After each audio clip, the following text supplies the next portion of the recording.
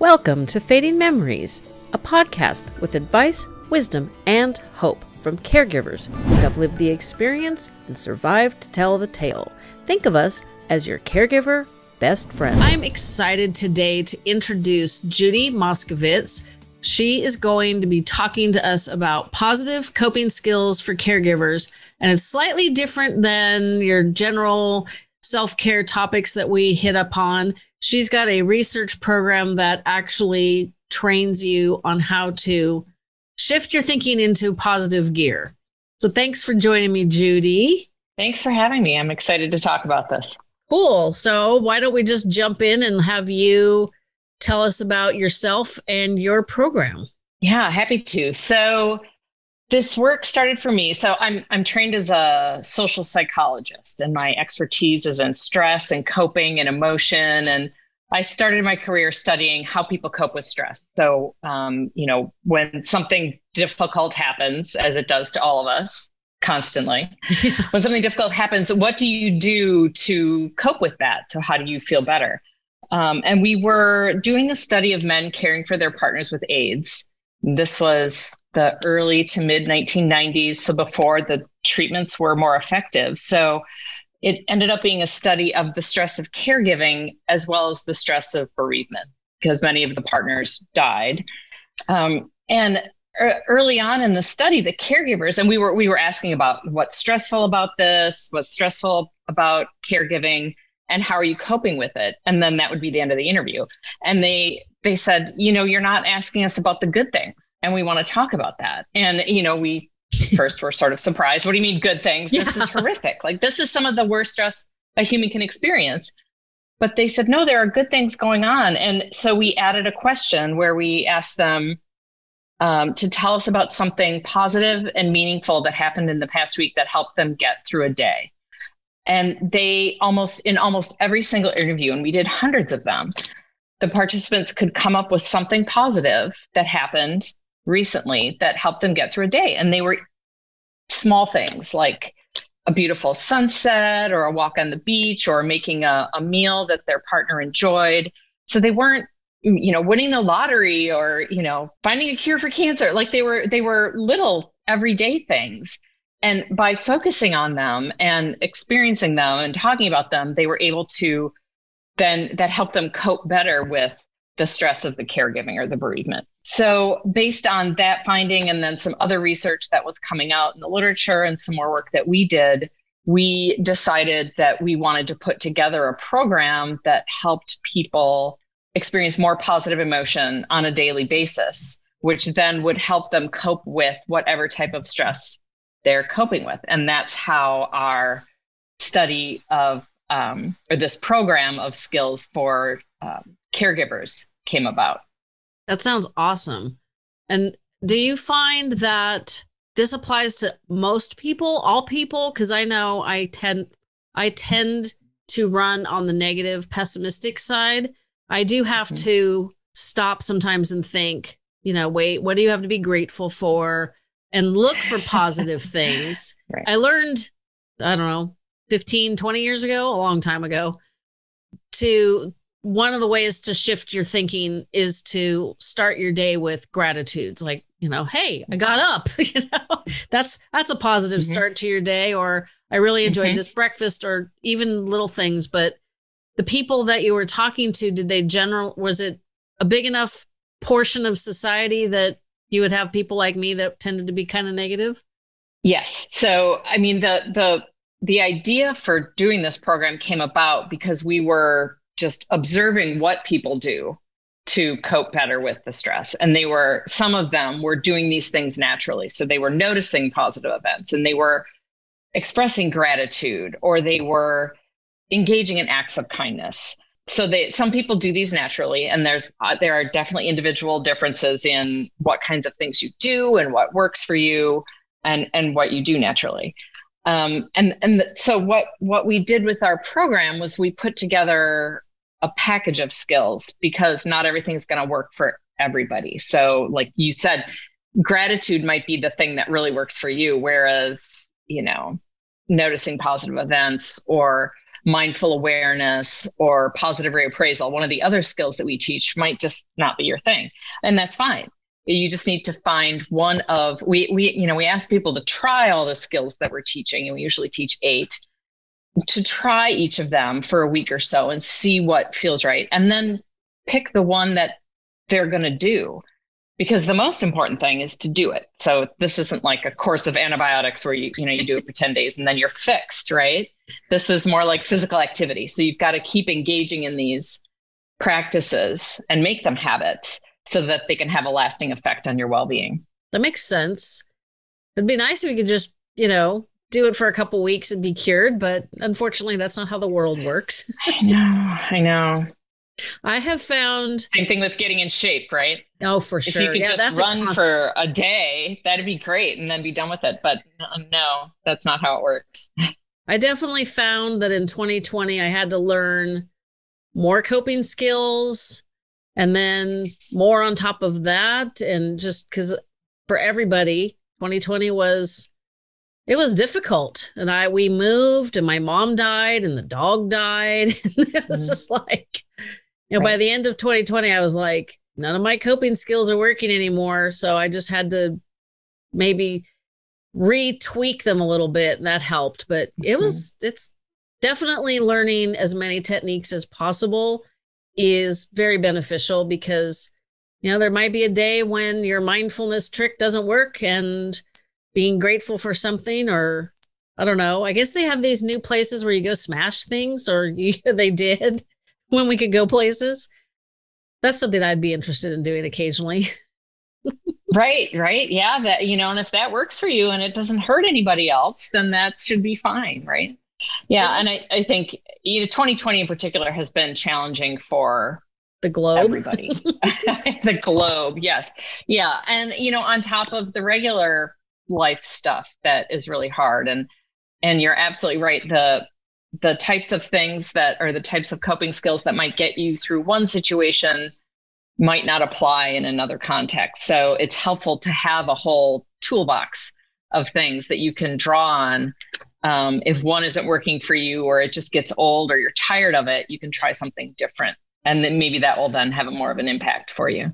So what uh, skills do you guys focus on in your program? So we have eight skills um, in the current program that we're we're teaching for um, Alzheimer's caregivers. We have noticing positive events. So that's what we learned from the AIDS caregivers years ago. It's just uh, you know, particularly when you're under stress, it can be hard to notice the good things that are going on.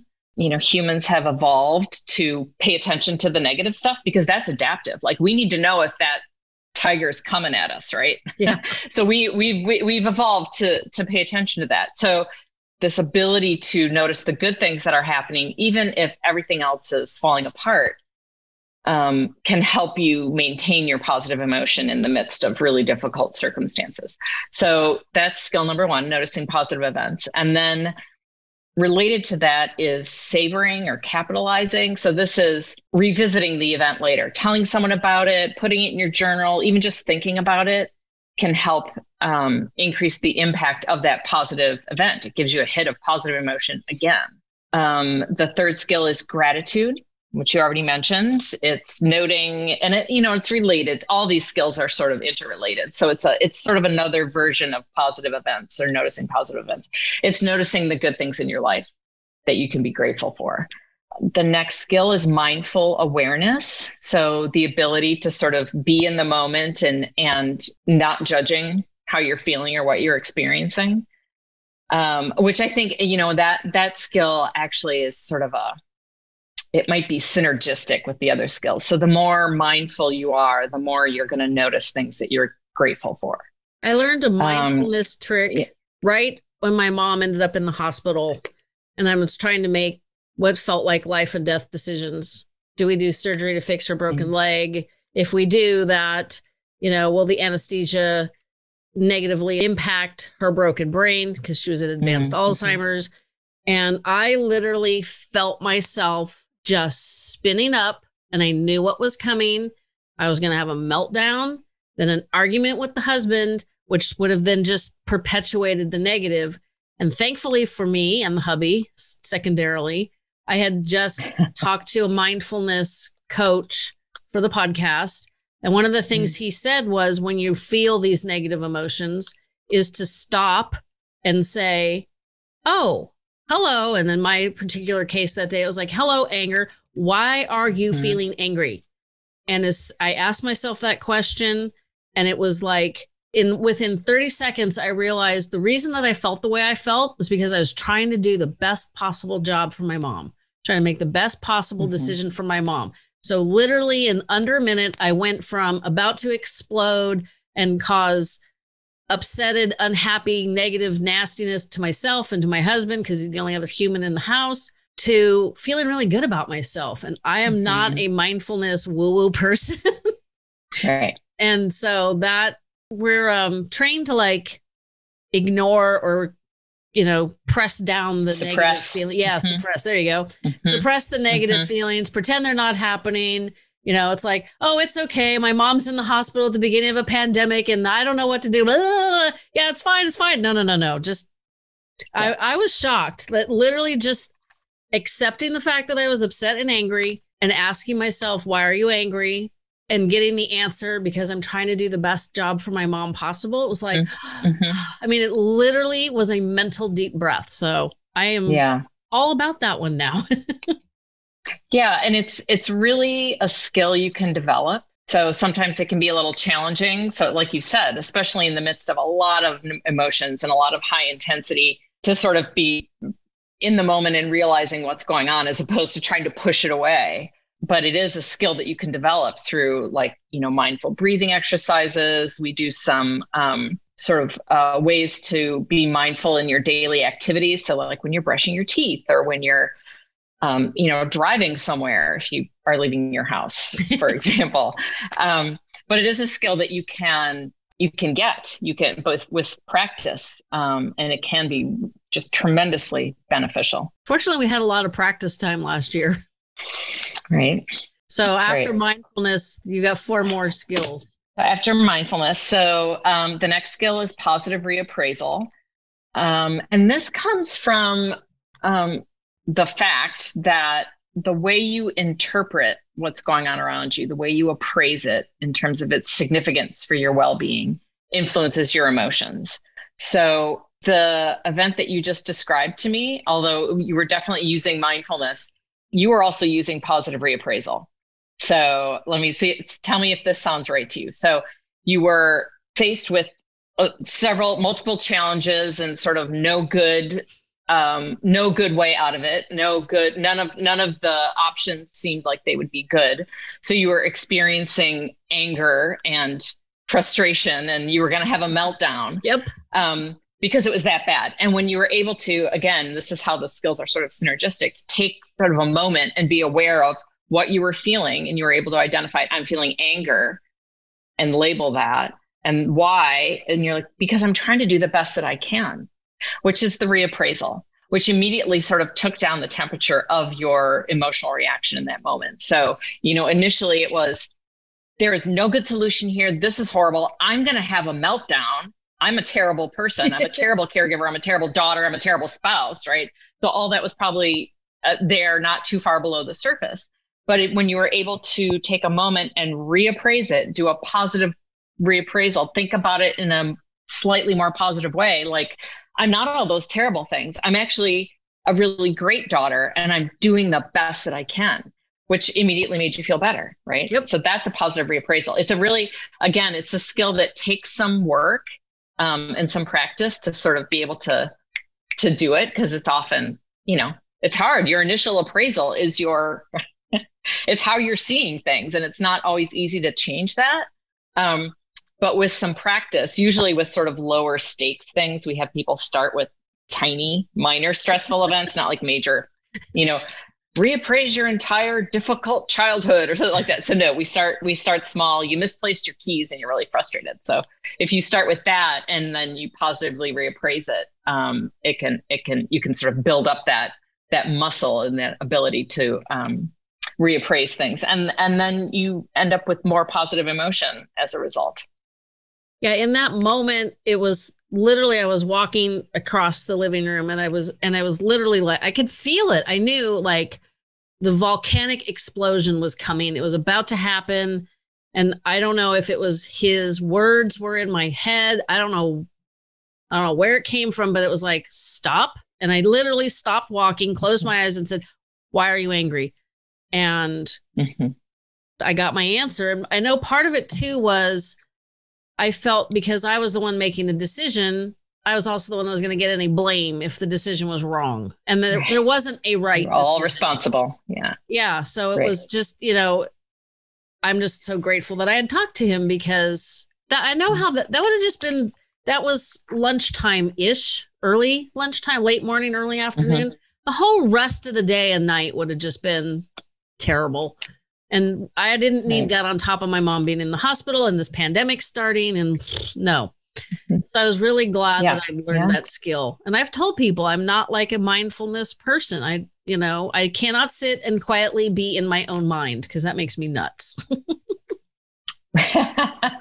right, right. And I don't want to hear my own but thoughts. There, yeah, there, there. I know, right? Yeah, it it has never been my personal favorite either. But uh, you know, honestly, in the past year with the pandemic, I've been doing more um, mindfulness practice, and it's been really helpful. You're kind of stuck. It you can know? be really beneficial. If you only have one person in your household to talk to, and they're not helping, then you don't have a lot of options. Mm-hmm. Right. So, you're, you're stuck with yourself, right? yeah. So you better find your own answers, which is what most of us had to do. Okay. So we got positive. Was that reaffirmation? Positive reappraisal. Reappraisal. Okay. Reappraisal. It's it's like cognitive reframing in the cognitive behavioral therapy world. So um, similar to that. But yeah, positive reappraisal. Okay. Um, then the next skill is um, noticing your personal strengths. So this this is um, again sort of when you're experiencing stress, it's sometimes hard to see what kind of personal strengths or resources you have to bring to the situation. So this is about taking a moment and seeing that there sort of are good things about you. So again, I see some of that in the situation you described as well. Like I'm actually a good daughter and I'm doing a good job. I'm really trying here. So those were strengths with you. You're, you know, persistent, thoughtful, loving, caring, you know, so like there are lots of things like that. So this in this skill we help people sort of realize the strengths that they do have um, and then the ways that those can help them cope with the stress related to that and th- uh, but but also um, sort of a shift is uh, attainable goal setting um, and for some people, this is just as natural as, you know, breathing, right? It's, um, uh, you know, based on, on research showing that when you feel like you're making progress toward a goal, that you have more positive emotion. It doesn't, you don't even have to attain the goal, but if you're making progress. So if you're able to cross things off your list, that gives you a hit of positive emotion and, and helps you cope better with the situation. Love so I am absolutely, I know sometimes do you even if you wasn't on your list and you do something, do you write it on your list and then cross it off? Um, sometimes, sometimes. I do that. I had sometimes two, I do that just to get that hit of positive emotion, right? I had two items on my to-do list yesterday afternoon, and after two and a half hours on Zoom and feeling like a zombie, and my brain was putting, I, I just literally wanted to take a nap, and I knew if I did that, I wouldn't get those two items done. We're talking two hours tops, and it was two thirty, so I had you know, good couple hours to take care of the two hour tasks. So I went for a mm-hmm. walk in the sunshine. And when I got back, one of the tasks required me to start another task, which wasn't on the list. But by the end of the evening, because dinner was later than general, um, because my husband had to um, he had to he had to actually leave the house and meet a client it was like, oh, well, I re energized myself with sunshine, a brisk walk, you know, really short, like 15 minutes. And I tackled extra. So I was like, I, I was feeling really good about myself last night. Mm-hmm. Mm-hmm. Yeah. And I think even that, that walk that you took outside, if you had put that on your list at the beginning of the day, then you could have crossed it off and that would have would made you feel like you're being progress and this it's actually something that i started doing early on in the pandemic is you know my daily my daily list had been work related before that. So even but even though I was working from home throughout the pandemic, I started adding things in like get outside twice. So uh, to my list because that you know helps in other ways too. But that again, that gave me something else to cross off my list, which made me feel good. Good. Yeah. So the the attainable goals portion of the program, we really help people sort of follow the SMART goals framework. So, you know, is it specific? Is it measurable? Is it actionable? Is it realistic? And is it time bound? So, really helping people go from I want to, um, you know, what I, I was using, I don't know why, c- curing cancer. So, like, that's too big a goal for most of us. Like, today I'm going to cure cancer. Um, so, you need to break, break that down into more manageable pieces. Um, conversely, you also don't want the goal to be too easy because then there's no challenge. Like, you, today I'm going to breathe for most of us, not everyone, but for most of us, like, that's easy, right?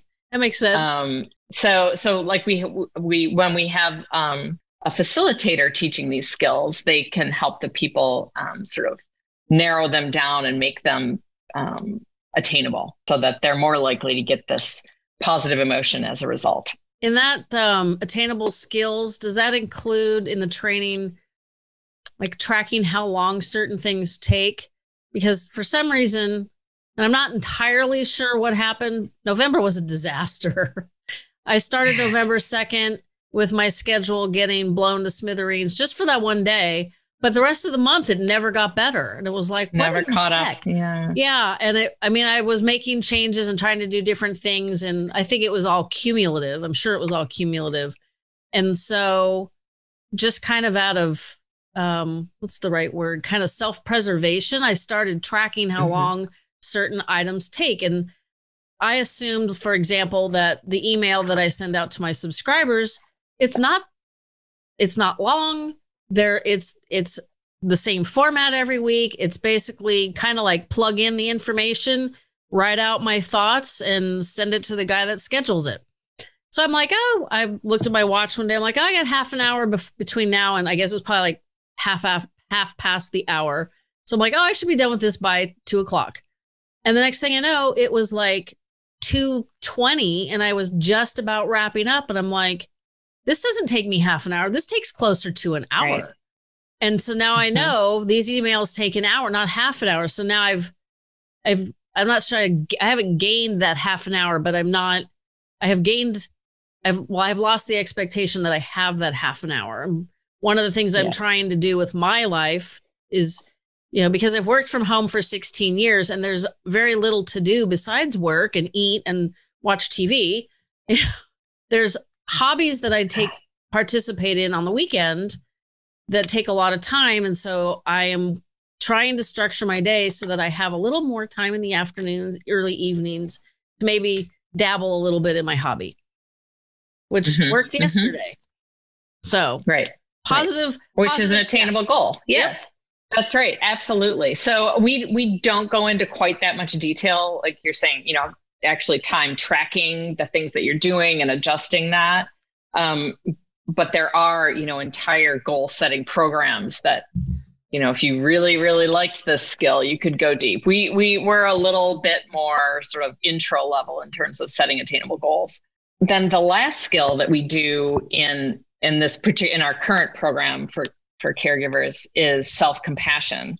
And again, that's what I'm hearing when you talk about sort of adjusting your expectations for how long things are going to take or how much you're going to be able to get done. I'm hearing self compassion. So it's basically cutting yourself some slack, treating yourself like you would treat a friend who is in the same situation.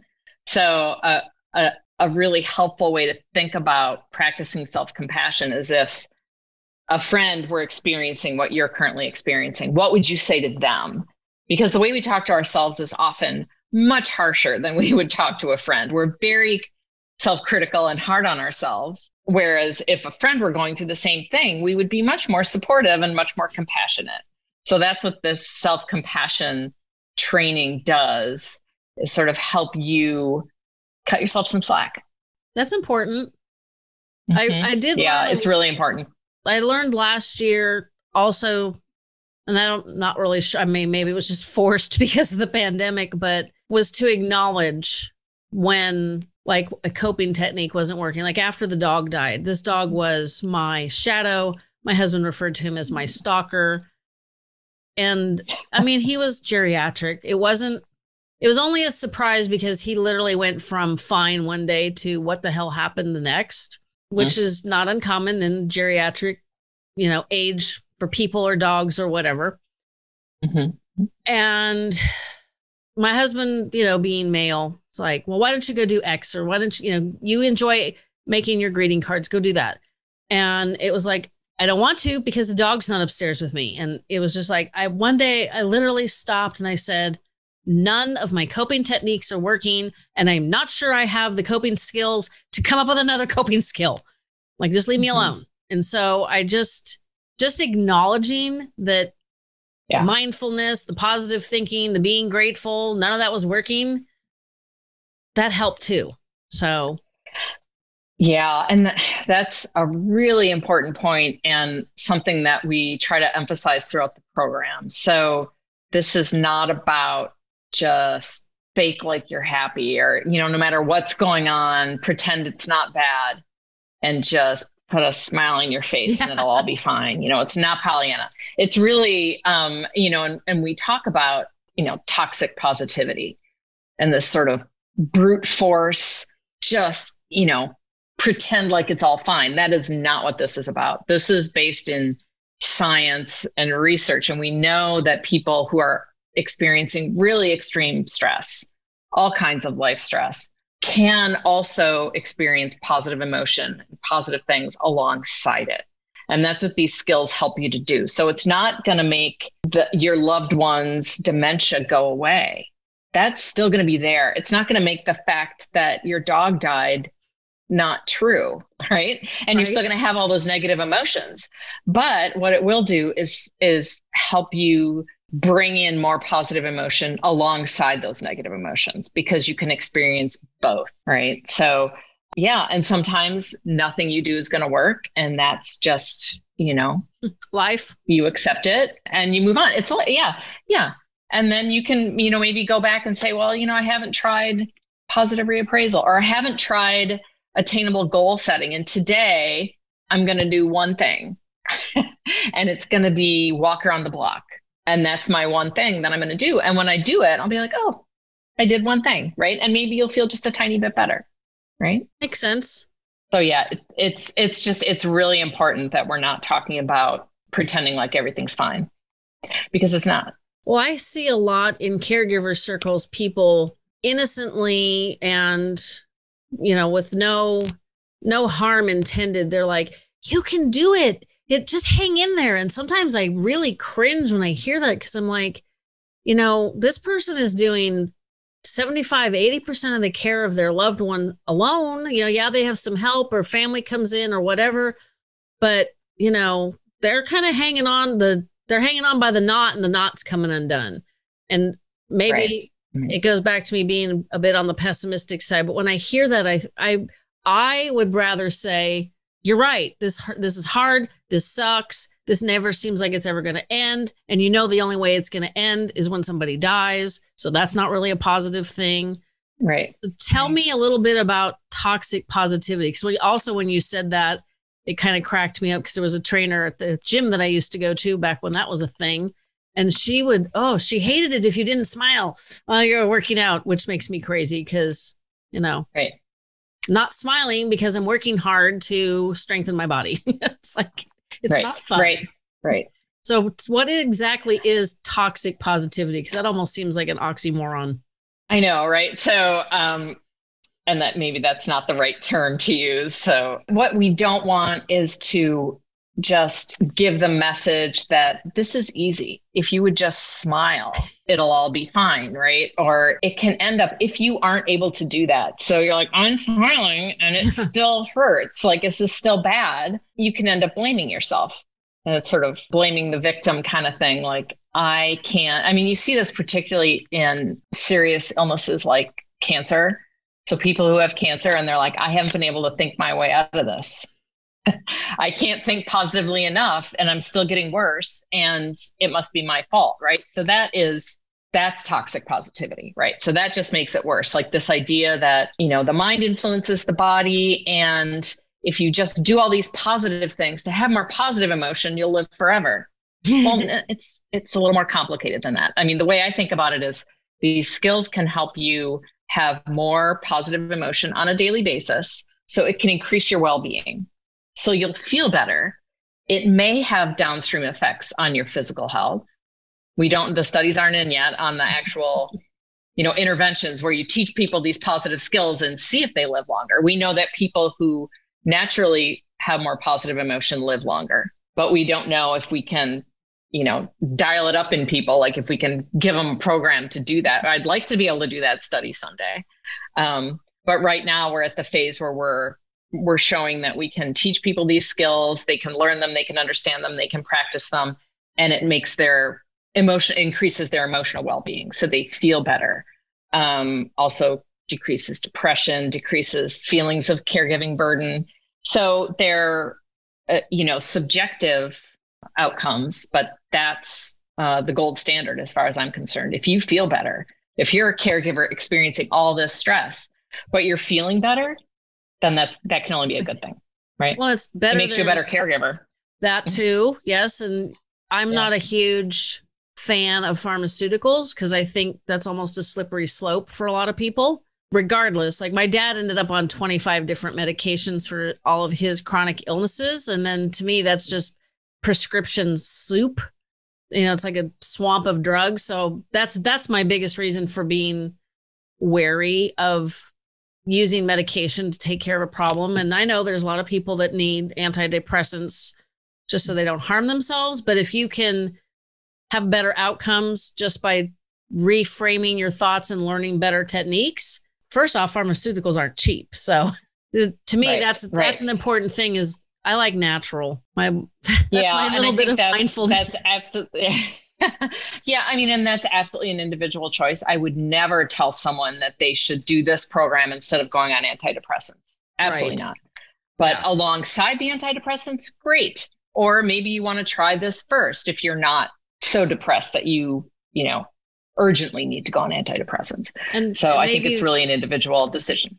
Definitely. And maybe your program would enable somebody to go on less of a dose of medication. You know, there's all it's yeah. Everybody's we, we actually have uh, uh, it, well, yeah, and, and in, in one of our research studies um, where we tested this program in people newly diagnosed with HIV, we found that um, you know at the at the start of the study before the intervention group learned these skills they were at about it was like 17 or 18 percent of them were on antidepressants. So this is self-reported but at that point uh, the both in the intervention group and the control group they were both at about 18 percent. Then 15 months later the the intervention group learned the skills over about six weeks and then we you know did follow up 15 months later the intervention group still about 17 18% were on antidepressants. In the control group the people who didn't learn the skills 35% of them were on antidepressants. Ooh. so again you know it wasn't one of our primary outcomes. We didn't it was self-reported but maybe the people who didn't learn the people who learned the skills were able to sort of maintain their level of well-being. Uh, you know and, and, if they were on antidepressants they stayed on them. But there was a the control group there was a big increase in the number of people who went on antidepressants over time so it's suggestive that these skills can be helpful for your mental health so how did you shift this program from researching caregivers for people with HIV to Alzheimer's. Despite, I mean, I think I know one answer is because we do have treatments for HIV, I guess. I don't know if that's the right word. Yeah. Yeah. So, I mean, HIV is now much more a chronic illness.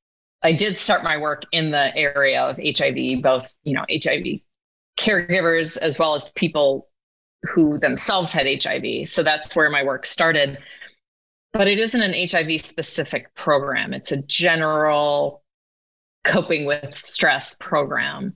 So we've really we've we've um, tailored the program to many different kinds of stress. So um, women with metastatic breast cancer, people with type two diabetes, people with elevated depression, high school students, we're currently looking at and the, and our first caregivers uh, first dementia caregiver study was all kinds of dementia caregivers and now we're focusing in on alzheimer's caregivers specifically but the program's the same. You know it's really it's not about you know how do you handle this type of problematic behavior or you know how do you manage the medications or that kind of thing. It's how how are you coping with stress and the skills that you learn can apply to any kind of stress you're experiencing. We did develop a program for coping with the pandemic. So more a general public program. So it's really that that this is a um, it's a general coping skills program that we've applied in specific types of stress groups including the alzheimer's caregivers. Makes sense. Seems like all of us should take this program. I think so yes i know i've benefited from learning new coping skills and and my mom is gone. So my coping skills was just getting through 2020 and losing mom, losing the dog, moving, pandemic. And I'm a planner. And when you can't plan what's happening tomorrow or next week, that's really stressful. Right. right. And that's so, one of your coping skills taken away from you, right? Yeah. It's like, well, yeah, I like to be able to plot out, you know, what I'm going to do when and where I'm going to go. And I, I like to keep it. I mean, it's, it's a loose scheduling, but it, that allows me to get everything done. But when you're like, well, I can work or I can work more or I can do nothing, it's just like everything is either in this one room or in this house. Ugh, yeah. Last year was a challenge for all of yeah. us. And we're still a little bit continuing, yeah. but yeah. the light, I heard a good statement today is we can see the light at the end of the tunnel right now, even though the tunnel is really long. At least it's mm-hmm. there. Mm-hmm.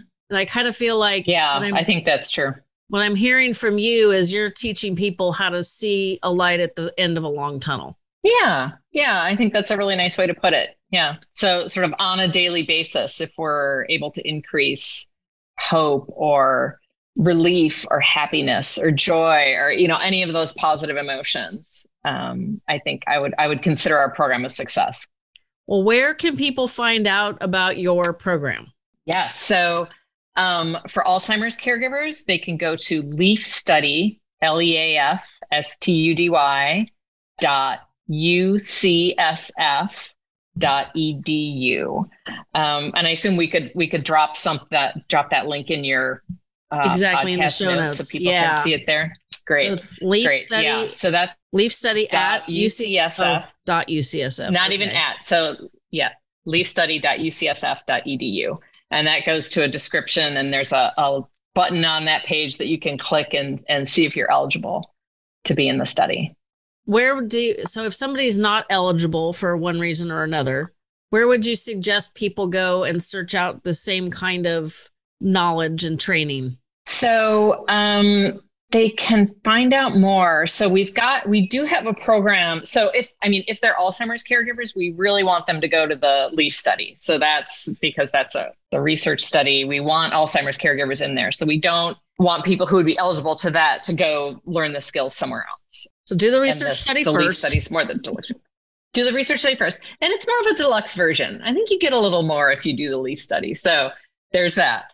Um, we do have a sort of a general public version that's it's self-guided online. Um, and I'll have to send you the link to that because I don't have that one memorized. Um, but that one we can we can put in the show notes as well. Sounds terrific. So is there any last suggestion you have for people on how they can have more positive coping skills between listening to this and maybe participating in the research program? Yeah, I think just just the realization that even if things are really stressful, there are moments of positive emotion and there are moments of joy and to look for those. And those those moments provide you some respite um, even if it's just a moment um, but it can be really helpful. So yeah just just knowing that you can experience positive emotion alongside the negative emotions that that come with the stress of being a caregiver.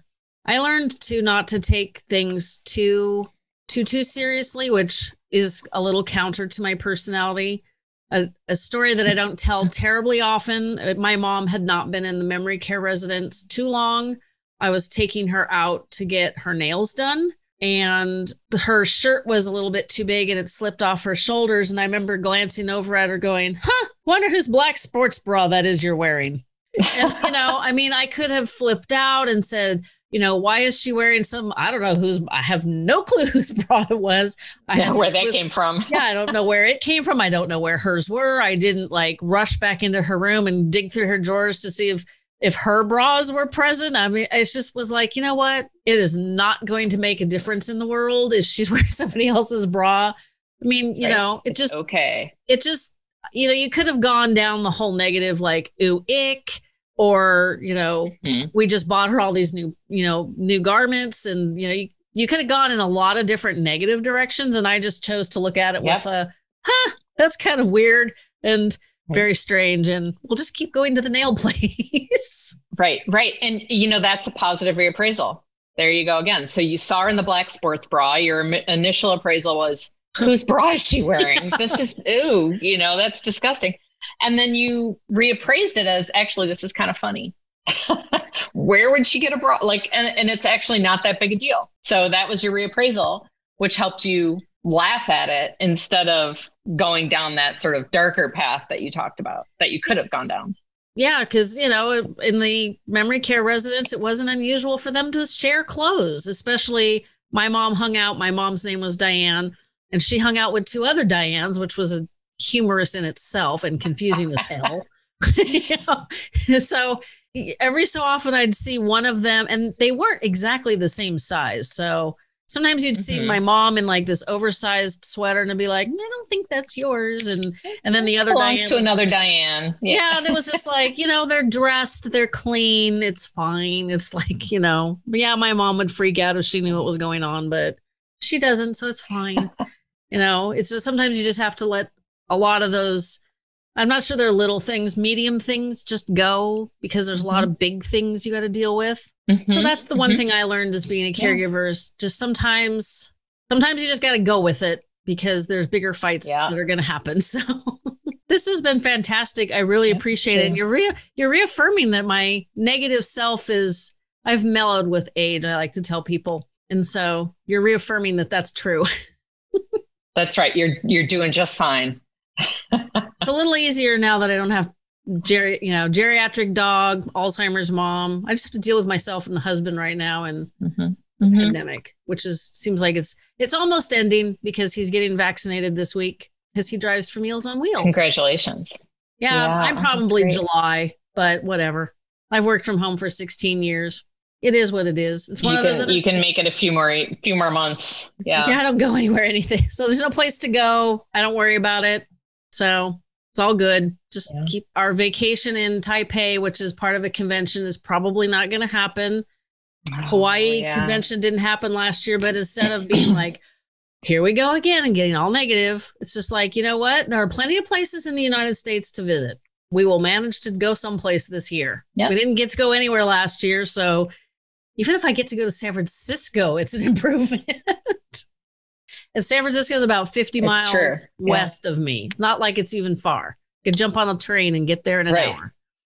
So, but yeah. But when was the last time you were there? I cannot remember. It's been over 18 months, I think. And yeah. today is January 26th. So by the time people mm-hmm. hear this, it will be even longer. But that's okay. Yeah. It it hasn't gone anywhere and mm-hmm. it'll just be that much better when we get to actually go. That's that's the other thing I'm thinking of because it's not. That's right.